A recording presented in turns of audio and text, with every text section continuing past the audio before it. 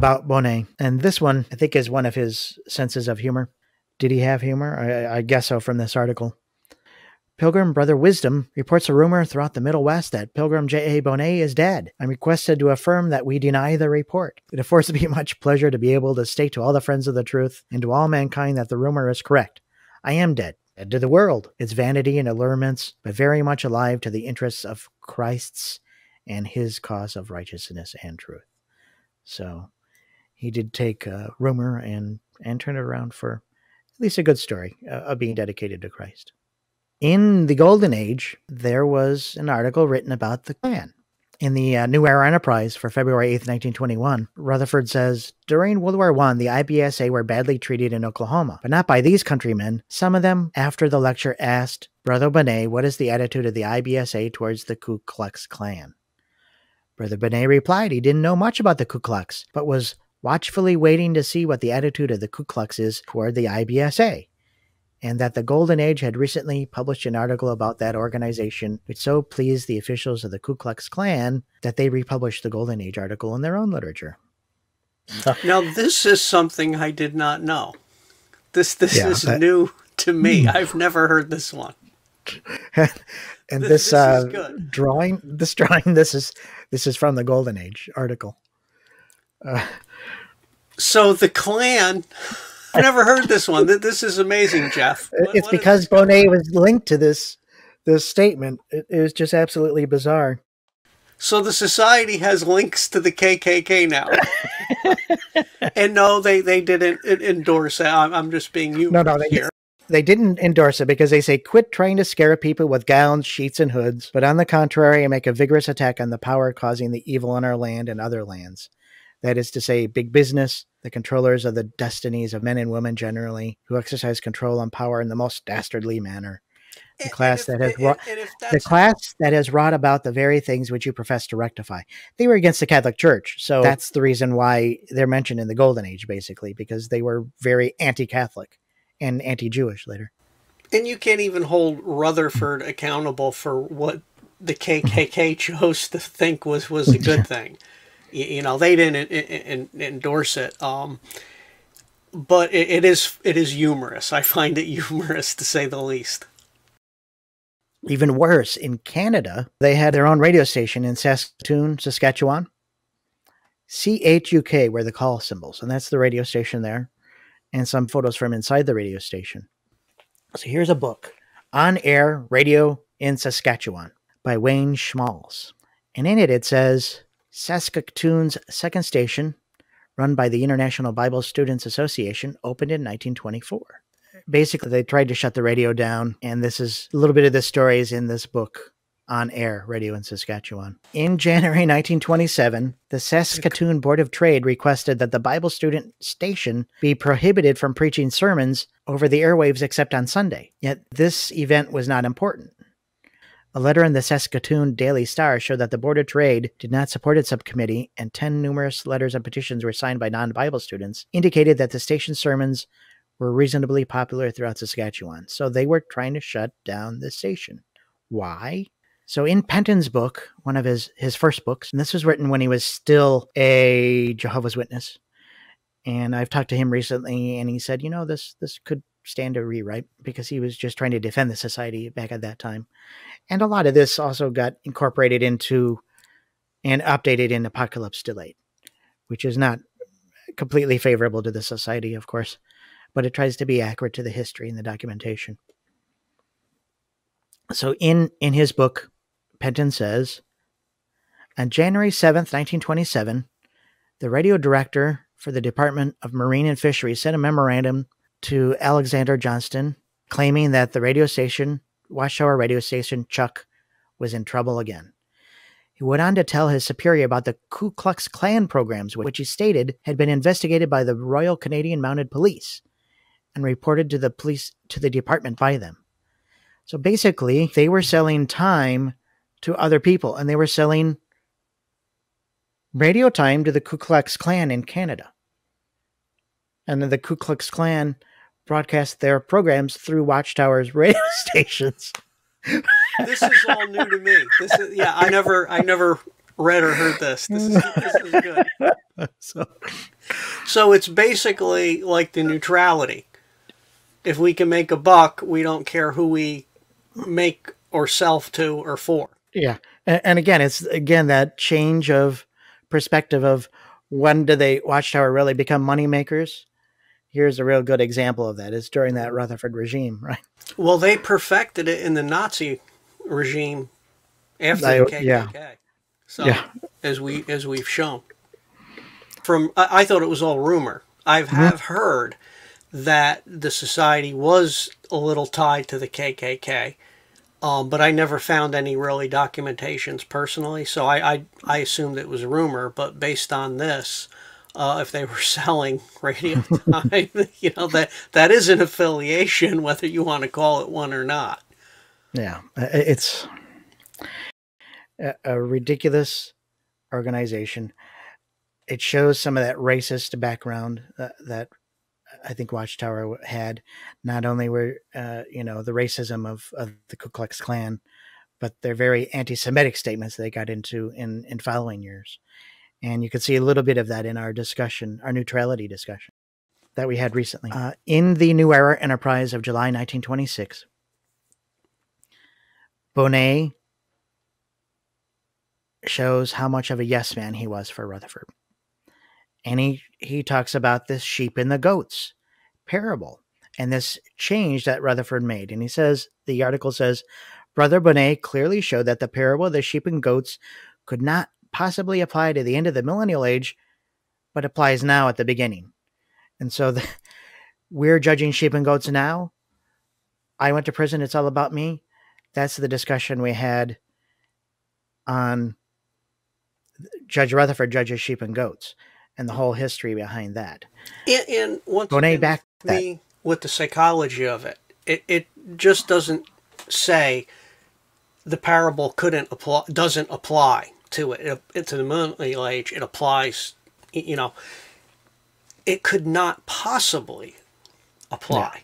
You know, it's how you choose your wording is if they're trying to influence the opinion, not tell you you know tell you the opinion not not convince yeah. you it, it's just the wording it has always gotten me with, with publications from them uh, and and to try and wrap up a little bit of Bohnet's life uh, we're getting to the towards the end of it in the 1925 march 3rd 1925 new era enterprise uh, it shows again how much bohnet was of a yes man he did everything he can to promote and protect his friend rutherford all the time so we had this discussion about what Bohnet did during our discussion on the history of the two witness rule. And here, here we come back to it again. Because he, instead of defending the Matthew 18 scriptural position about the two witness rule, Bohnet defends his friend Rutherford instead. And, and how Rutherford was trying to get away from that rule.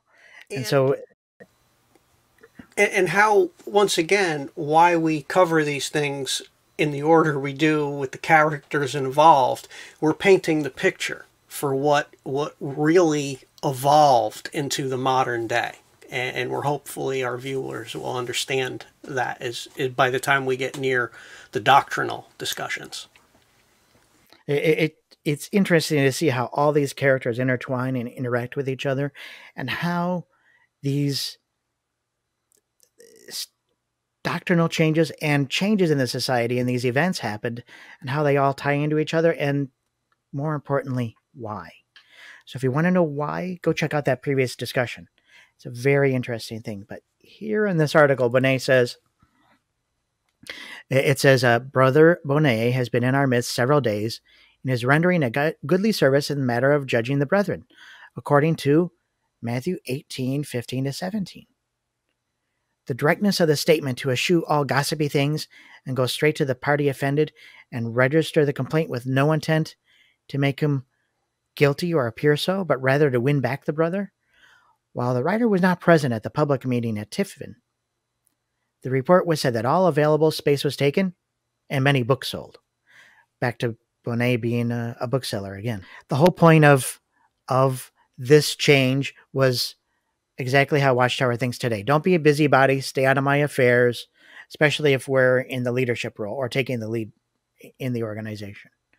And that's was Rutherford's opinion. I'm taking the lead in the organization. Don't bother me with this stuff. I don't care about your two witnesses. He avoided it at all costs. So see again our discussion on the two witness rule. So in the Proclaimer's book, Bohnet is mentioned, and it again shows his yes man, defend Rutherford at all costs uh, attitude again, as you're describing. In this article on the birth of the nation, and, and we're going to do a deep dive in, into this too in the future. The Proclaimer's book it says that here uh, Rutherford applies the lightnings, the voices, the thunderings as evidence of the new light he was sharing. Okay, so the article on the birth of the nation was difficult to take hold of because of a previous interpretation of Brother Russell, which we believe to be the final word on Revelation. Little wonder then that some stumbled over the explanation.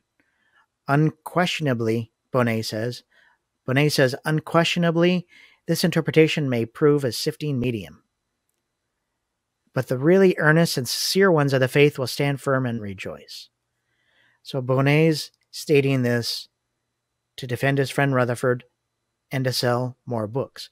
We know that this article, Birth of the Nation, ended up in the reprinting of the finished mystery. So they republished the finished mystery. They ripped out the Ezekiel part because of our discussion on the man who dared disfellowship Rutherford. Make sure to check that one out. And they replaced a section of the book with this article. And, and the question is why, right? And even from back in Bohnet's day, if you look at the wording, every time they change and go to a new light, people question and they call it a sifting. Well, we're, now we're going to sift and, and weed out who really are, are the true followers of Christ. Well, what mental effect is that going to have on people? Uh, yeah, it, you're, you're telling them, okay, if, if I don't follow, I'm being sifted and now I'm not part of Christ. And then one of the examples they always give that always that, that has got me um, humorous to me is with Moses and, and Dathan. How they always compare th those who don't follow Moses as the Dathan-like class. And how many were sifted in the 1920s when that statement was made? How many were sifted in how 1975? How many were sifted in yeah, but in 1925 when Bohnet makes this statement, this article is going to be a sifting article. How many stayed true to the society? How many stayed with the society? Over 75% left as we've seen in our previous discussions. 75%. Yeah. That's quite a sifting rate.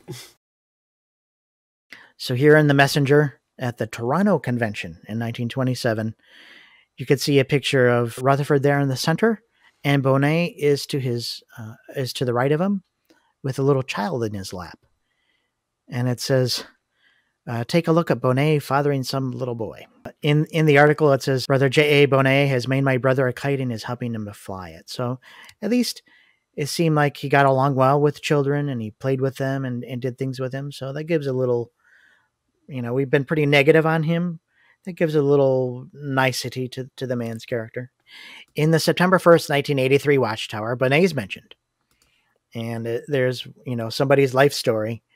And it says, J.A. Bohnet made a particular impression and was of special help to me. He was a man who had characteristics that endeared him to some people, but had the reverse effect on others. We can see that from some of the things that he had done. He loved Jehovah and evidently was modest, but kept his qualities somewhat concealed under a gruff exterior. We don't see much of Bohnet after the mid mid 1920s. We see a little bit here and there, but towards the end of the 20s and early 30s, the only time we see uh, anything from Bohnet is when a new book comes out. And being the salesman he was, he writes in a wonderful review of Rutherford's new book each time. So we, we have an example of that here in the January 1st, 1928 issue, and it's about Rutherford's new book, Creation. And it was beautifully illustrated. In the February 1st, 1931 issue, Bohnet writes in again, and it's about light. Light was Rutherford's new commentary on Revelation. And thank goodness this light was new light to help us understand Revelation because we didn't understand it before. So I guess the finished mystery on Revelation wasn't quite a finished mystery. And the April 1st, 1931 also was another article by Bohnet stating, you know, what a wonderful vindication of Almighty God light is destined to be when all shall have come to know him from the least to the greatest. And and I like how Bohnet talks about uh, the book. Uh, how does he say? Brother Rutherford could not have improved on the book Life except by divine supervision. Yeah. And, and where did he write it? Beth Sarim. Another discussion for another time. A good place to write. You, you all need a writing retreat. Yeah. Boy, that boy definitely did not have writer's block. Bohnet died in 1932, one year later. And that's his death certificate there. Uh, he died in Michigan. Uh, he didn't see what became of Rutherford and the society, where the society was headed. He got a little inkling of it, what his opinions were on the doctrine. Was he completely a yes man? It looks like from the evidence we've seen.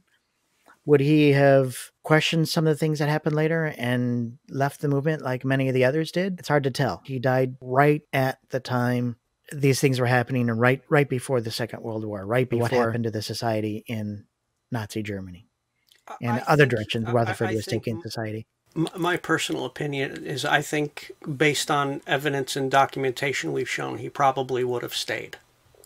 I think so, yeah. An opinion. And, yeah. And uh, it, it, it was definitely an interesting discussion. Uh, we can see what kind of character Bohnet was. He had a lot of bright ideas, not necessarily as bright as he thought they were. Uh, he was trying to make money for the society in multiple ways. Uh, but this miracle wheat scheme was his child, his his his idea, and it didn't go well for the society or for Russell or Rutherford, uh, based on the evidence that we've seen. And it uh, seems that it wasn't Russell who was really concerned about making money, as much as it was everybody else worried about yeah. making money for the society. And why, you know, why was that? And you see a lot of times, I think Russell surrounded himself with people who took advantage of him.